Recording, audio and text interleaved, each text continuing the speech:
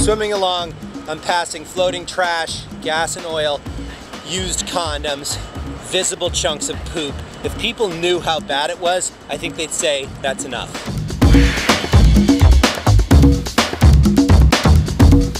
They call me the Toxic Avenger as a joke.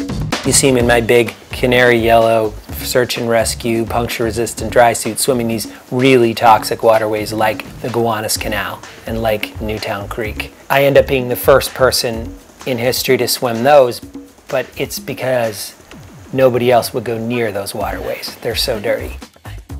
Part of what I was also doing is trying to change the way people looked at these waterways.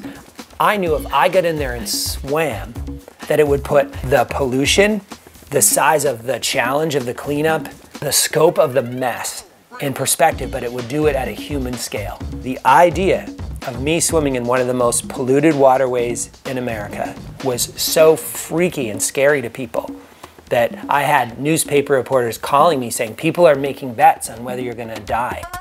How long? Bring it back.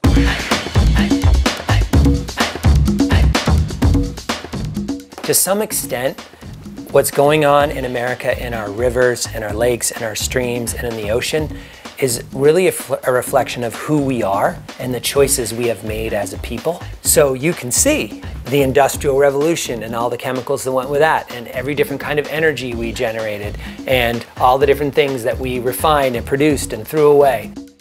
The Clean Water Act of 1972 says I have the right to swim in clean water. They just haven't cleaned it. What's crazy is that that clean water that we have a right to was sort of stolen from us and nobody realized it.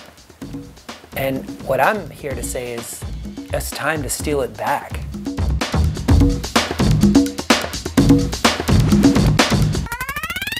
Bring it.